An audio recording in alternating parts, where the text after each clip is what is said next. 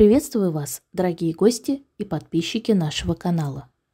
Для всех любителей криминальных историй наш психологический проект «Про нас» предлагает вашему вниманию криминальные истории с участием нарциссов и психопатов, совершенные против членов своей семьи. Как вовремя распознать этих потенциальных преступников, скрывающихся под маской социально благополучных личностей, чтобы не стать жертвой этих смертельно опасных людей, мы рассказываем на нашем основном канале про нас, ссылку на который я дам под этим видео. Также прошу вас не забыть подписаться на наш канал и поставить лайк авансом, так как это позволяет нам снимать чаще и более качественные видео для вас.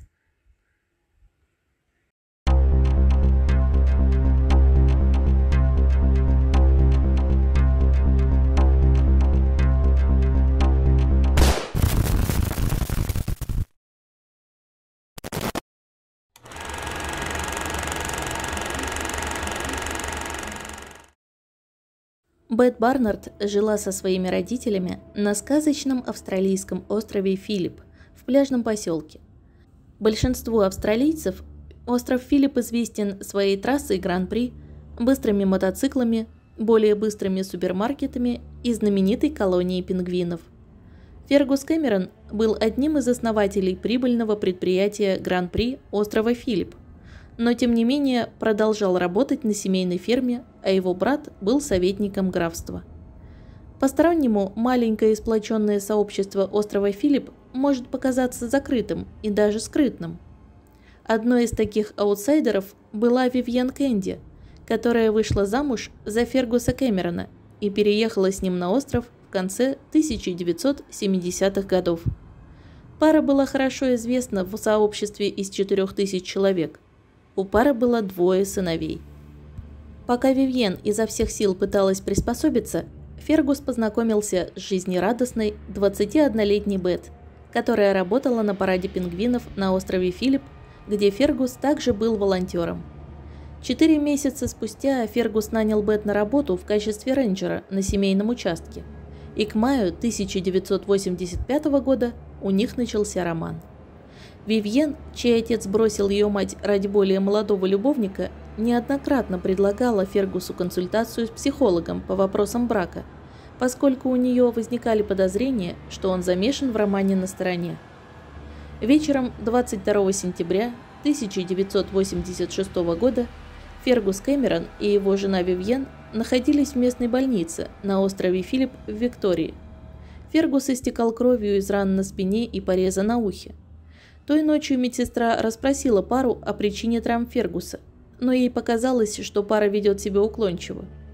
Она утверждала, что они упоминали что-то о падении через стеклянную дверь.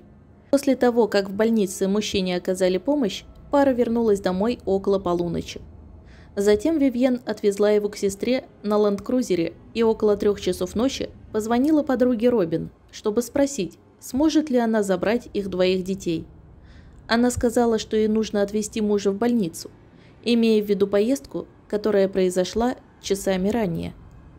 К тому времени, когда тем утром жители острова Филипп проснулись, Вивьен уже нигде не было, а Бет Барнард была мертва. В 9.20 утра 23 сентября 1986 года двое уважаемых жителей острова Филипп, один из которых был советником графства Дон Кэмерон, отправились в полицейский участок Коуса, чтобы сообщить о домашнем конфликте на ферме в Риле, 13 километрах от них. Выслушав их бессвязный рассказ, сержант Клифф Эш и один из его помощников поехали к частному дому. В дверях спальни они нашли тело 23-летней Бет Барнард, закутанное в одеяло. У нее было несколько ножевых ранений, горло было перерезано, а на груди была вырезана буква «А». В то же утро Вивьен Кэмерон была объявлена пропавшей без вести, семейный ленд-крузер был найден возле моста Сан-Ремо с ее сумочкой и ключами внутри. Большинство людей пришли к выводу, что эти два события связаны. Две группы дайверов обыскали дно залива в поисках тела Вивьен Кэмерон, но ничего не нашли. В течение следующих нескольких недель полиция опрашивала людей и собирала улики – фотографировала, делала видеозаписи и составляла картину преступления. Когда история раскрылась, выяснилось, что у Бет Барнард был роман с мужем Вивьен Кэмерон. Преобладающая теория, которая в конечном счете стала официальной, заключалась в том, что Вивьен спрыгнула с моста Сан-Ремо после убийства любовницы своего мужа в приступе ревнивой ярости. Итак, официальная версия гласила, что вечером 22 сентября 1986 года Фергус рано ушел с работы и провел несколько часов в доме родителей Бет, воспользовавшись тем, что их не было в городе. В это время его жена Вивьен позвонила на ферму и выяснила, что он не был на работе, как он утверждал. Доказательства романа Фергуса становились неопровержимыми, и, ожидая мужа, она нервничала. В 21.20 Фергус вернулся домой, и Вивьен рассказала ему, что знает об его романе. Ошарашенный, он во всем признался. Приступе ярости она разбила бокал с вином о его голову и спину, нанеся настолько серьезные травмы, что ей пришлось отвезти его в больницу. Пара попросила сестру Фергуса, Марни, и ее мужа Йена приехать и понаблюдать за двумя детьми. Марни и Йена они встретили в залитом кровью доме с разбитыми стеклами. Супруги вернулись из больницы около 12.30 в гораздо более спокойном состоянии. Обсуждая свой распавшийся брак, пара решила развестись. Учитывая, что Кэмероны были известной семьей на острове Филиппа, было решено, что Фергус останется там с детьми. Вивьен вернется в Мельбурн и останется с родителями, пока она не обдумает свой следующий шаг. Около трех часов ночи мужа Робин Диксон разбудил телефонный звонок. Подруга Вивьен звонила по телефону и просила пару приехать, чтобы присмотреть за ее детьми, пока она отвозила мужа в больницу – Робин согласилась на просьбу и прибыла в дом, чтобы обнаружить, что оба взрослых ушли, а дети крепко спят. Робин заметила, что Вивьен забыла свою сумочку. Это станет важной частью информации. Вскоре после своего звонка Робин, Вивьен села в Toyota Land Cruiser своего мужа и направилась к дому Бет. Land Cruiser был замечен соседкой Бет около 3.30 утра, а затем был замечен около 5 утра на мосту острова Филипп, где он оставался, пока полиция не обнаружила его 10 часов спустя. Когда они осмотрели автомобиль, они обнаружили, что в нем, среди прочего, были две пачки сигарет, разделочный нож и умывальник для лица, залитый кровью. На следующее утро Фергуса разбудил в доме его сестры звонок от Робин, которая спросила, почему Вивьен еще не вернулась за детьми. Мысли Фергуса обратились к его любовнице Бет и жестокой ссоре с женой прошлой ночью. Вместо того, чтобы лично проверить ее, он попросил своего брата Дона и зятя Яна нанести ей визит. Цена, в которую зашли Дон и Йен, была поистине ужасающей. Ночная рубашка Бет Барнард была задрана до шеи, а на ее теле были следы многочисленных порезов и колющих ударов. Ее горло было глубоко перерезано, а на груди была вырезана отчетливая буква «А». На ее руках были порезы, а бумажные полотенца возле раковины в ванной были заляпаны кровью, как и большая часть дома. Рядом с ее телом был брошен нож. Было обнаружено несколько окурков, которые, как позже определили, были брендом Claridge and Peter Stuyvesant, что говорит о том, что убийца не торопился уходить и не особо заботился о том, чтобы замести следы. Бет, как известно, не курила. Никаких различимых отпечатков пальцев обнаружено не было. Как предположил бывший детектив Рори О'Коннор, возглавлявший расследование, это была жестокая и яростная атака. Это было личное, определенно. Нет никаких сомнений в мотивах. Буква А, вырезанная на ее груди, представляла наибольший интерес – Полиция предположила, что это отсылка к роману Натаниэля Хоторна «Алая буква. Романтика», явно не романтичному роману 1850 года. Действие романа происходит в пуританском Бостоне. В центре романа молодая женщина, которая рожает внебрачного ребенка. Публичный суд над ней включает в себя то, что она должна носить алую букву «А» на груди до конца своей жизни. Знак для сообщества, что она была прелюбодейкой. Вивьен Кэмерон быстро стала очевидной подозреваемой. Когда полиция искала Вивьен, они наткнулись на ее ленд-крузер, припаркованный возле моста, с ножом и кровью внутри, но Вивьен не увидели. Больше ее никто не видел живой, и учитывая, где была припаркована ее машина, разоблачение накануне вечером, визит в больницу и улики в машине, предполагалось, что Вивьен Кэмерон убила Бет Барнард, а затем поехала на мост, где покончила с собой в ранние часы. Дело было закрыто, и семья Кэмерон разрешили жить своей жизнью. Тем не менее, сомнения остались и продолжают терзать жителей маленького острова.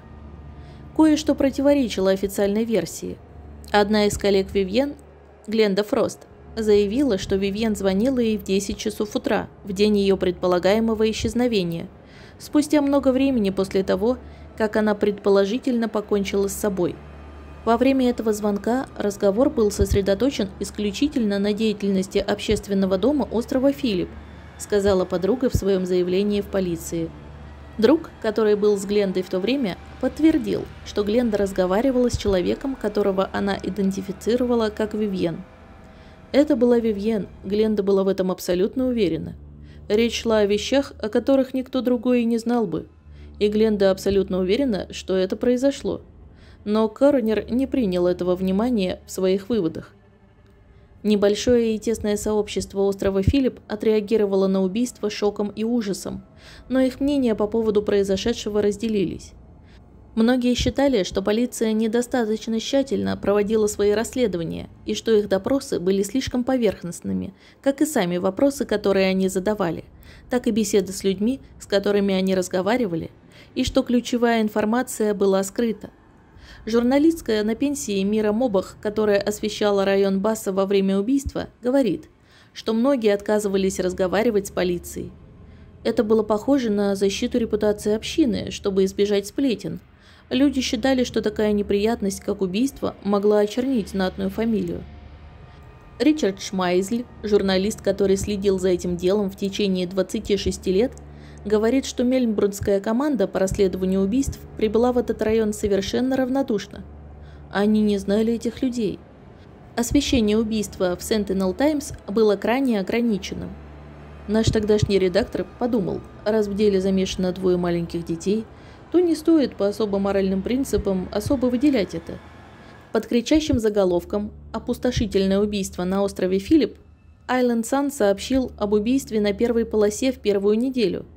На следующей неделе был один маленький абзац, на следующей неделе еще один маленький абзац, и больше ничего.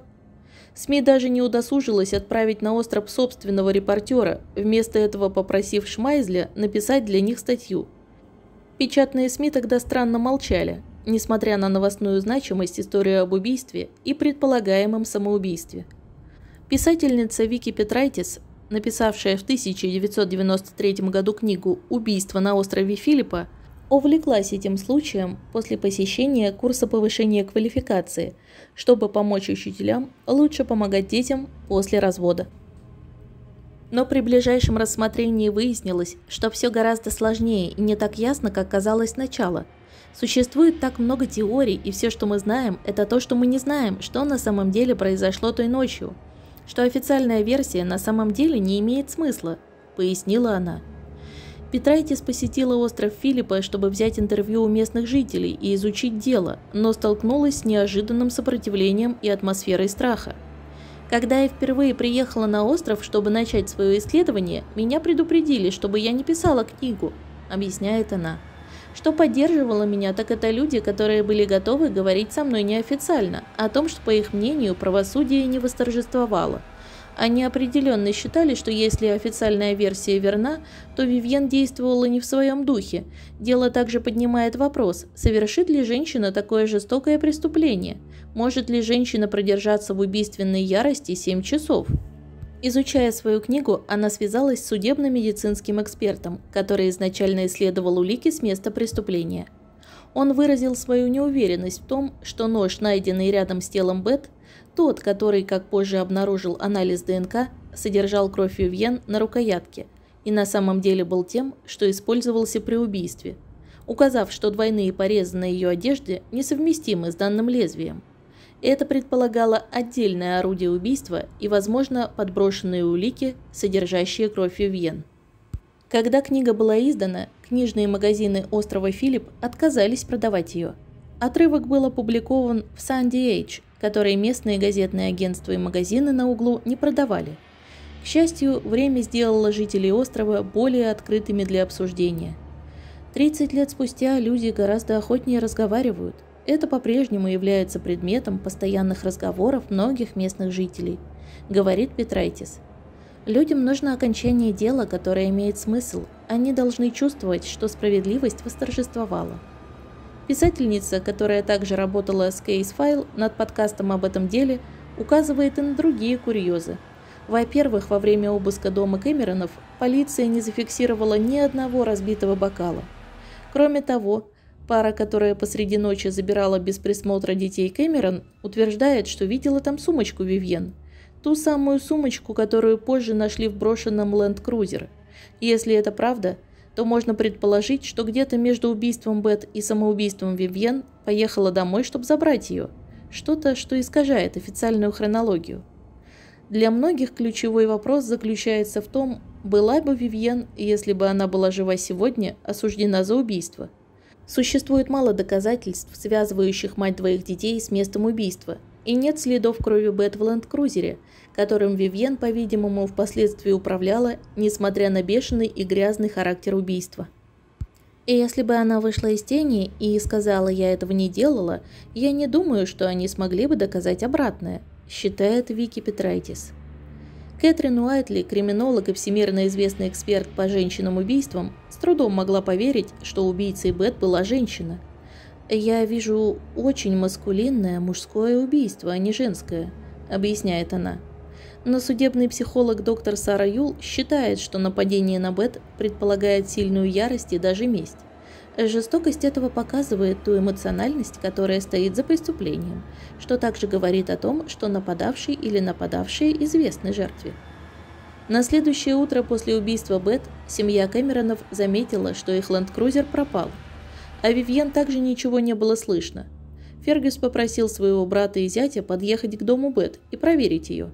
Именно там они сделали шокирующее открытие ее изуродованного тела – но вместо того, чтобы позвонить Фергусу, они поехали в полицейский участок, где сообщили о смерти Бет. На этом этапе казалось, что никто, включая ее семью, не искал Вивьен. А в 16.00 ленд-крузер был наконец найден возле моста Сан-Ремо, примерно через 13 часов после предполагаемого времени убийства Бет. По одной из версий, одной из причин убийства могло быть желание разобраться с завещанием Вивьен Кэмерон – она была основным акционером компании под названием Philip Island Grand Peaks Kirkwood, сокращенно Placitas, которая в 1985 году купила старую гоночную трассу на острове Филипп, тогдашнюю сельскохозяйственную землю, с целью ее восстановления и возобновления гонок. Ее доля в компании была передана ее мужу в 1988 году – в том же году Пласитас сдала трассу в аренду компании Боба Барнарда, и в 1989 году он провел первый австралийский этап чемпионата мира по мотоциклам, а затем Гран-при мотоциклов. В 2004 году, когда Гран-при и супербайки прочно закрепились на острове Филиппа, Пласитас продала гоночную трассу и окрестности Линси Фокс за нераскрытую сумму. Полицейское расследование также обнаружило немного крови Вивьен в ее доме, но в больнице сказали, что она не пострадала после того, как ранее ночью бросила свой бокал с вином в своего мужа. Все же окончательный вердикт заключается в версии с любовным треугольником, который закончился жестоким убийством. Но могла ли Вивьен совершить настолько идеальное преступление и инсценировать свою смерть? Валентин Смит, бывший старший детектив полиции штата Виктория, а ныне генеральный директор сети пропавших без вести, считает маловероятным, что Вивьен инсценировала свою смерть. Она проделала довольно трудное дело, поэтому если бы она решила инсценировать свою смерть, то потерпела бы неудачу. Фергус Кэмерон женился снова в 1993 году. Он до сих пор живет на острове Филипп и является заместителем председателя Destination Phillip Island – туристической организации, которой поручено привлекать отдыхающих в красивое, спокойное место. Пожалуйста, напишите, что думаете по этому делу. Согласны ли вы с официальной версией раскрытия убийства? Или же кто тогда, по вашему мнению, мог убить Бет Барнард? Делитесь вашими мыслями в комментариях. Кто эти страшные люди, совершающие немыслимые преступления, и как вовремя определить, что человек, с которым вы общаетесь, нарцисс или психопат? Как сохранить себе жизнь, когда вам стало понятно, что вы находитесь рядом с такой патологичной личностью? Смотрите информацию на нашем основном канале, ссылка на который стоит под этим видео. Прошу вас не забыть поставить лайк за нашу работу и подписаться на наш канал, чтобы не пропустить новые истории о чудовищных преступлениях, совершенных нарциссами и психопатами.